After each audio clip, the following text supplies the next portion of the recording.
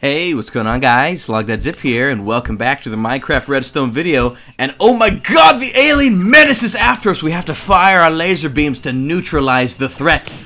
Oh, oh, he hit my hole, you freaking Django. Welcome to Space Invaders in vanilla Minecraft. This is a 1.8 edition using redstone magic to your Minecraft world. This is a map courtesy of Red Knobs. If you want to check out his channel, it will be linked in the description below, as well as a download for this world so that you can play it with your friends. And I'm literally about to die already. The hit detection is not favoring me this game. There is a live system, a scoreboard system, as well as breaking barriers and firing bullets that the aliens will fire against you to take out you. You have to drive your redstone block ship. It is it's it's the ultimate advanced technology of redstone blocks. It fires lasers and it neutralizes invisible spiders and endermen. This is a faithful port of the Space Invaders arcade game from the 1980s that your parents and or grandparents probably really freaking love because they're so dang old. Anyways, I hope you guys enjoy this redstone creation. If you do and you want to see more on the channel, make sure you drop a like on the video. I'd love to see 500 likes for this redstone video. Now, that being said, I'm pretty sure I'm about to die. I'm pretty sure. Oh my gosh, they're almost to me. If one of them hits me with their freaking uh, their green slime ball attack of doom, I will die and I will lose. We got to take a. Oh, see. Oh, he hit me. Out of lives. It's game over for me, folks. I.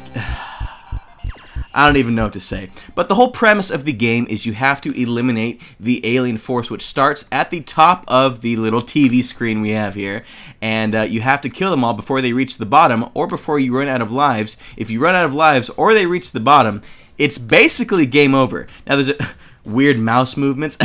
now, there's a few different things that you have to set up before you can actually uh, play the game, which we're going to cover right now. Uh, so we're going to go ahead and do that.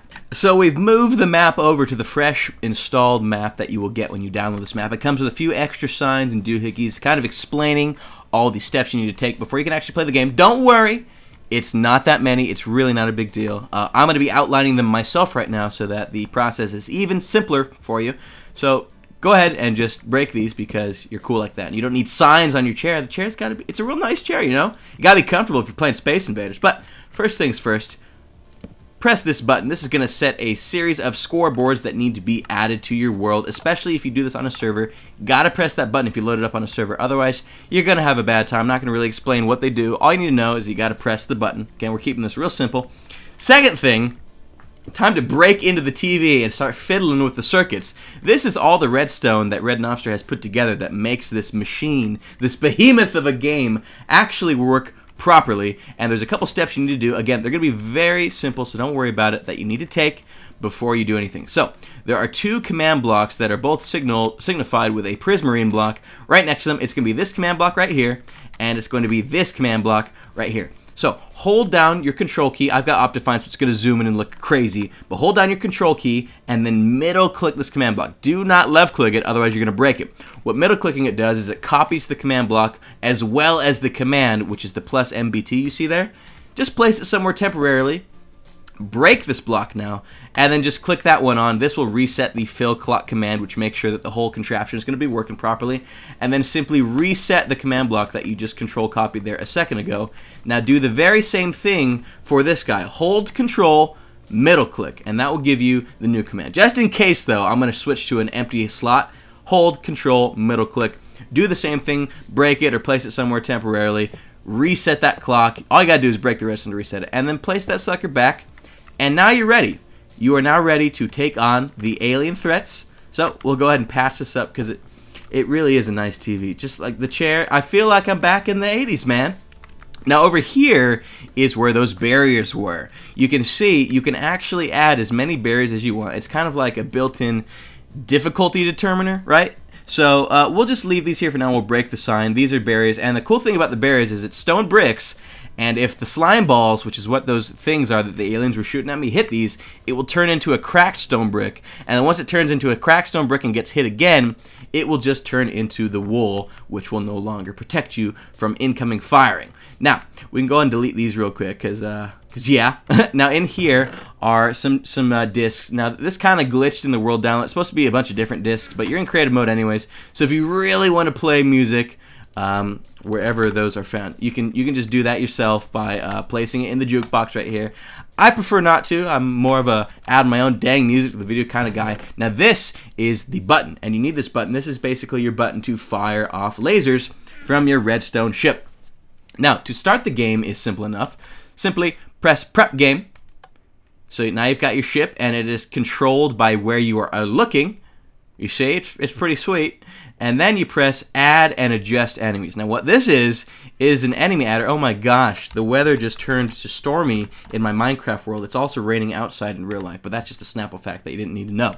Now this adds the Space Invaders, which is literally just Endermen, uh, spiders, and cave spiders, all with invisibility so you can't see the rest of their body. But the cool thing about those mobs in this game is you can see their eyes because they glow even when they're invisible. So that kind of acts as the aliens.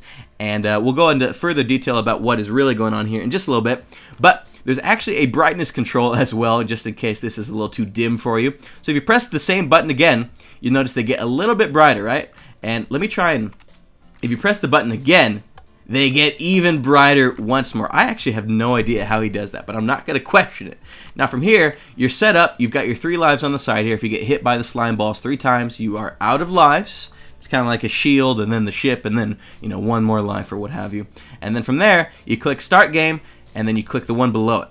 You click them in that order, and then suddenly you switch to your button just like such, and you've got slime balls being fired at you, and you fire your own weapons as well. Now upon hitting them with the laser, it will in fact take out each mob, or in this case, Space Invader, individually. Now the object, as I said, is to kill the alien menace, the scum, before they hit the edge of the wall, because every time they hit the edge of the wall, they move down one step. So, nice little strategy for you is to take out the side guys first. Dang it, it won't go through the wall. I kind of shot myself in the foot there. so take the guys out on the side first, because every time they hit the side, you see, they shift down like that. And the moment they hit the bottom, is when you lose and it is game over. You even have a little skill, a little kill skill board, scoreboard, whatever. I'm losing my mind here on the side there to track and uh, determine you know, how good you are compared to your friends should you decide to play with some. I myself personally have no friends, so I'm playing on my own. And you see, if you get hit with a slime ball, your lives will actually go down. You can look in the corner there. See, I got hit again, and I got hit one more time. It's kind of finicky. If you're close to the slime ball, it won't work.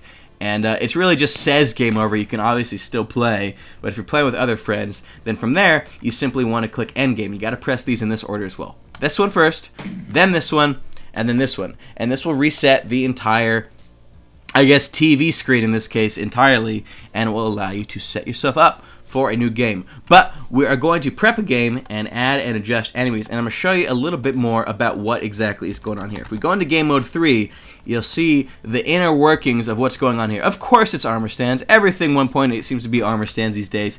It's all armor stands being controlled, and in this case we've got some invisible mobs here being constantly rotated upside down. If you're wondering how the spiders are turned upside down, when you name a mob Dinnerbone, it turns them upside down like that. So that's what's going on with these. Um, it wasn't done for the Enderman because the Enderman would make the eye shift down an absurd amount. Um, however, the rest of it is just armor stands being moved slightly. You can see the redstone block here is actually being worn on a, a little tiny armor stand's head and being shifted slightly left and right here. And you'll see when we fire off ourselves, what the heck is what's what is all this stuff? Close menu. I'll do it. I've never seen that before. okay, so you can see do I have a stone? I do have a stone on me. All right now. All right now. I want to. Oh, you know what I probably got to do is here. We'll go to game mode one real quick, and you can see exactly what I'm talking about. So we'll fire off a couple shots, right? We'll fire off a shot, right? Okay, and then we'll switch to game mode three, and you'll see exactly what's going on here. It's armor stands carrying. It was carrying up the freaking blaze rod. We'll try it. We'll try it right here, and we'll shoot another one right there and you can see it's just armor stands going crazy. And once the hit detection detects that it's hit a mob, it causes the mob to disappear. Same with the, the rest of what's going on here. In fact, we'll go back to adventure mode and start the game, and you'll see exactly what's going on there as well. So you can see there's armor stands carrying the slime balls down to the doom, down to their doom. And the moment they hit one of these berries as well, as I said, it will turn it into a cracked stone brick, and then it will just see. Watch, check it out, check it out, check me out. I'm great. You see it? Turns into a cracked stone brick, and this one should probably break upon. Yep. So, it is a lot of craziness going on, and you've got your lives over here, of course. Come on, get hit. Get wrecked. Oh, I missed it just barely, but you'll see the lives disappear as well. Just like that. So, all done in vanilla 1.8, all done with amazing command block magic, and all done by Red Nomster. So once again, check out his channel in the description if you want to see more. Also, if you want to see more on my channel, make sure you drop a like for these amazing redstone contraptions. And I uh, hope you guys enjoyed this video. Once again, world downloads in the description. Give it a shot, play with your friends, let me know what you think. And of course, we will catch you for the next video. See ya!